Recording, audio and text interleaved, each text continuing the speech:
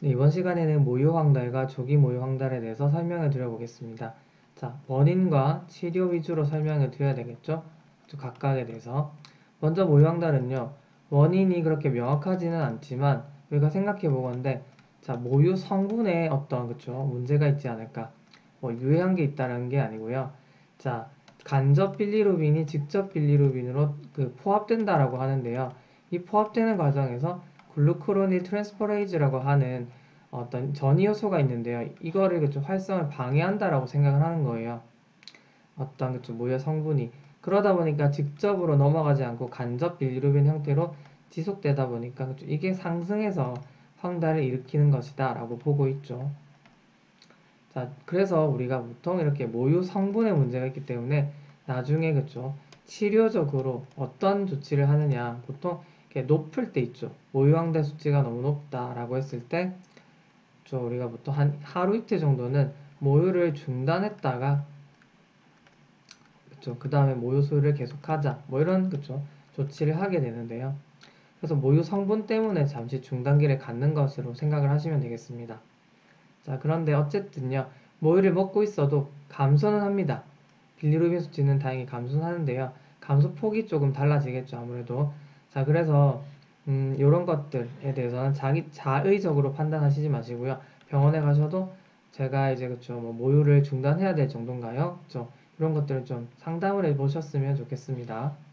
그 다음에 조기 모유 황달은요. 이거는 오히려 이제 시기적으로는요. 모유 황달은 보통 7일 이후에 나타나고 그쵸 이거보다는 좀 늦게 나타납니다. 그래서 뭐 7일보다 조금 일찍 일어날 수도 있지만 보통은 7일 이후에 나타난다고 보고요. 다음 조기 모형달은 어, 한 3일에서 그쵸 7일 사이 요 정도에 나타나는 조금 이른 조기 그쵸 모형 달을 보시면 되겠습니다. 요거는 조금 다른 게요. 이건 오히려 모유를 아기가 잘 못 먹어서 나타나는 것으로 생각을 합니다. 그래서 이런 걸 오히려 조기 모형 달을 예방하는 차원에서도요. 열심히 초기에 그쵸 모유를 애기한테 익숙하게 만들어주고 잘 먹게 해주는 게 훈련이 필요하고요. 그래서 밤낮으로 열심히 먹여주시면 되겠습니다. 아시겠죠? 자, 이렇게 이제 조금 차이가 있어서 오히려 얘는 이제 치료를요. 그쵸. 이 시기에 모유를 얼마나 먹었다고 모유 때문에 황달 그쵸. 그게 아니라는 거죠. 이름은 모유 황달이긴 한데요.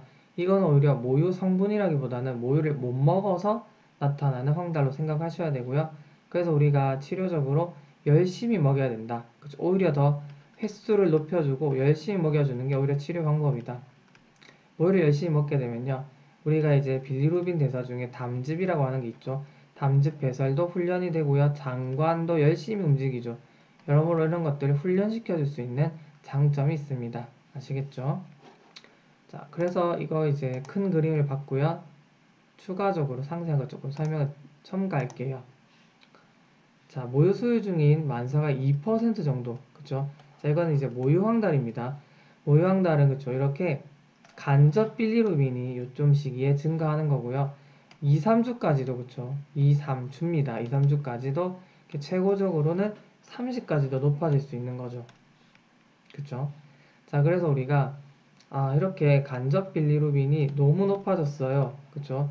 2, 3주가 되면 30까지도 높아지면 이 간접 빌리루빈이라고 하는 게요. 제가 이제 metabolism 시간에 설명을 드렸겠지만 BBB를 잘 통과하는 특징이 있습니다. 아니 이렇게 높아졌으면 그쵸 BBB를 통과해서 이 그쵸 빌리루빈이 뇌 속의 신경세포에 침착이 돼서 신경학적 증후군 같은 거를 일으키거든요. 그게 바로 핵황달인데 그쵸 핵황달은 무섭겠죠. 그래서 혹시 핵황달이 일어나진 않을까 봤더니 그래도 조금 시기적으로 조금 그쵸 일주 이후에 조금 늦게 나타나기 때문에 드물게 나타나긴 하지만 그쵸 보고된 예는 있다. 거의 없다라고 생각하시면 되는데요. 보고된 예는 있다라고 합니다. 자, 그 다음에 그래서 이제 모유황달은 제가 아까 설명을 드렸죠. 그래서 이런 것들 그리고 우리가 심한 경우에는 그쪽 광선 치료까지도 갈 수 있습니다. 뭐 다음 모듈도 있고요. 자, 그 다음에 조기황달, 그쵸, 모유황달 약간 다르기 때문에 이것도 제가 다 설명드렸습니다. 자, 한번 읽어보시고요. 자, 그러면은 요거 있죠. 한번 보겠습니다.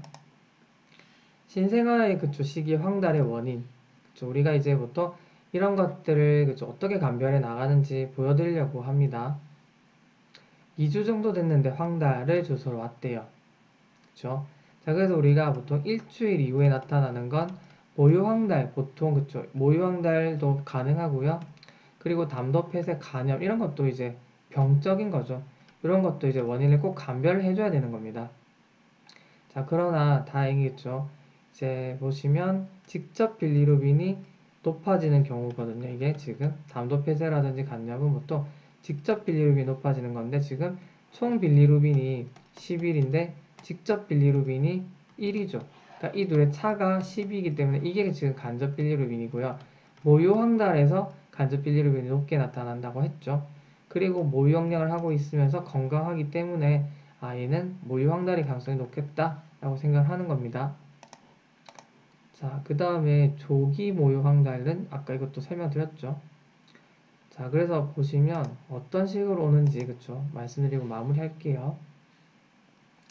자, 4일 된 정도, 그쵸? 4일 정도인데 황달로 왔습니다. 어, 그쵸? 출생 체중 이런 거 다 이상 없죠? 자, 그런데 빌루르빈이 조금 높네요. 모유 수유 중이었고요. 다행히 건강한 거고요. 그쵸? 그래서 이런 시기에 나타나는 건 보통 조기 모유 황달입니다. 모유 수유 중인데 요 시기에 그쵸? 빌루르빈이 높게 나타났다. 건강했다. 이런 식으로 이제 모유 황달, 그쵸? 이제 조기 모유 황달이죠, 이거는. 그래서 아, 조기 모유 황달을 의심해 볼 수 있구나. 라고 생각을 하시면 되겠습니다. 그래서 우리가 모유를 더 자주 주세요 라고 말씀을 드리는 거죠. 네, 일단 조기 모유황달과 모유황달 이렇게 이제 마무리 해보겠습니다.